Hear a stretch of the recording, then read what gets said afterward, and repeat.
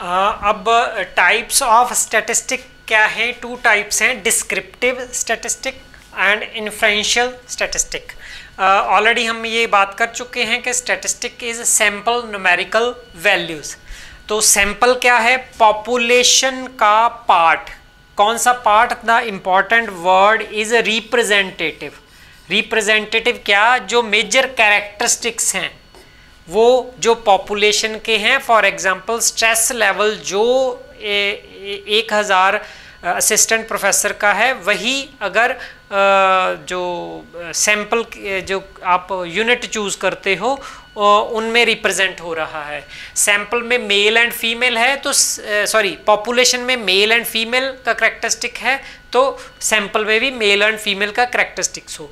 तो ये representative part of population is sample sample पर लगाया हमने स्केल uh, टेस्ट उनकी वैल्यूज़ न्यूमेरिकल वैल्यू ऑब्टेन की और उनको एनालाइज करते हैं। उनको एनालाइज करते हैं ये बात पहले uh, शायद मिस हो चुकी है। तो स्टेटिस्टिक की जो डेफिनेशन क्या बनती है इस तरह से?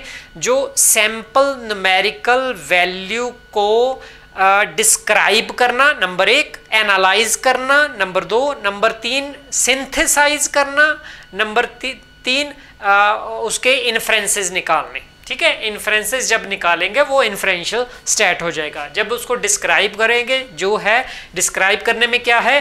कि हाउ ऑफन द और फ्रिक्वेंट एन इवेंट और स्कोर अक्कर ठीक है?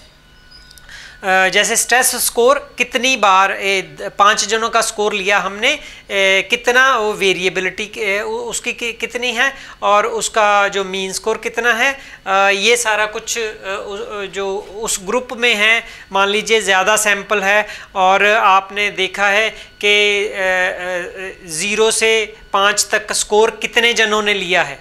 तो ऐसे फ्रिक्वेंसी मैयर होती है। फर्दर डिस्क्रिप्टिव स्टैटिस्टिक की सब टाइप्स हैं। नंबर एक फ्रिक्वेंसी सबसे पहले।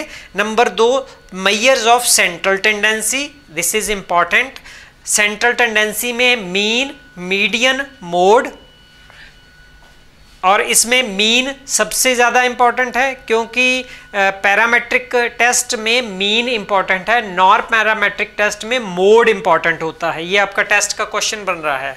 ओके थर्ड टाइप है मैयर्स ऑफ़ वेरिएबिलिटी वेरिएबिलिटी में सबसे पहले रेंज सेकंड उसके बाद आपका क्वार्टल डेविएशन फिर आपका वेरिएंस इसको समझेंगे एग्जांपल लेके, और फिर standard deviation standard deviation is most stable use of measures of variability while we apply inferential stats तो मीन इधर इंपॉर्टेंट स्टैट में हो गया, इधर स्टैंडर्ड डेविएशन ज़्यादा इंपॉर्टेंट हो गया। उसके बाद वेरिएंस भी है। जब analysis of ANCOVA ANOVA MANCOVA MANOVA वो लगाते हैं, वहाँ शब्द में ही पता चलता है कि वेरिएंस शब्द आ रहा है।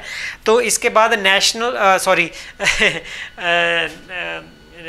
जो नॉर्मल प्रोबेबिलिटी कर्व ठीक, उसके करेक्टरिस्टिक्स वो अगर डेविएट हो जाती है स्क्यूड और नेगेटिवली स्क्यूड पॉजिटिवली स्क्यूड उसके करेक्टरिस्टिक्स क्या होते हैं, वो ज़रूरी है जानने। फिर मैयर्स ऑफ़ रिलेटिव पोजीशंस इसमें परसेंटाइल रैंक ये बताता है जितना स्कोर आपका है, वो ग्रुप के स्कोर से कंपेयर करके बताते हैं कि इतने परसेंट लोग आपसे पीछे हैं, इतने परसेंट लोग आपसे आगे हैं। ठीक?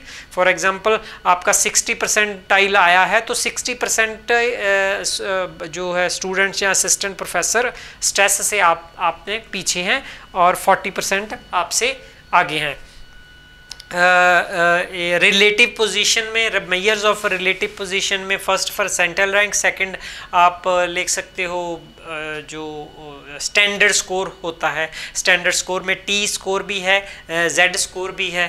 Then graphical representation of data जो आप बार ग्राफ बनाते हो uh, uh, जो लाइन ग्राफ बनाते हो पाई चार्ट बनाते हो ठीक है?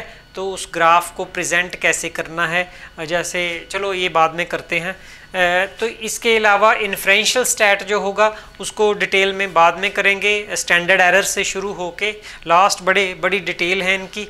तो यहाँ से शुरू करेंगे। इनको, इनमें जो मेन मेन है, उनको समझना अब यहाँ से शुरू करेंगे।